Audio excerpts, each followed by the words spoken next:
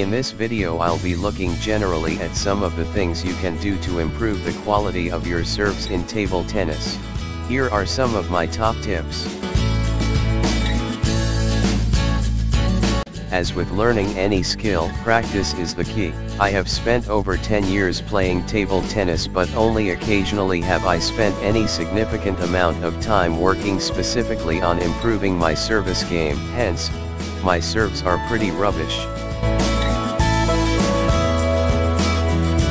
Whether you're an international player or a complete beginner, I'm sure you know somebody that has better serves than you or is better at a particular serve. Watch their action, you can learn a lot from just observing others performing a skill. If it's accuracy you are going for, using targets is a good way of providing yourself with instant feedback. You could use a bat case, a bat, or a small square of paper. Try to hit your chosen target a certain number of times out of 20 serves. Then have another go and try to beat it. If you're getting really accurate you can use a slightly squashed table tennis ball as a target.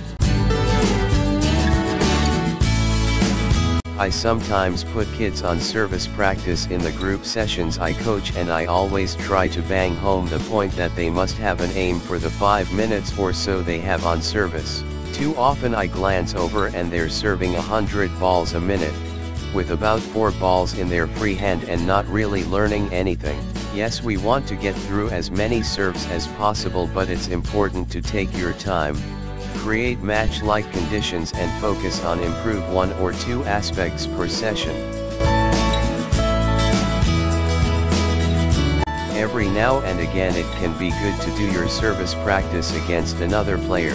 You won't always be able to find someone but just having them there will probably increase your concentration and in turn, the quality of your serves. It's good to get an idea of which serves opponents find difficult and which ones you may need to improve further, they'll probably find it useful too. We all need to practice our receive as well as our service. So those are my top tips. I probably missed out something really important, so if you spot it, please leave a comment and let me know.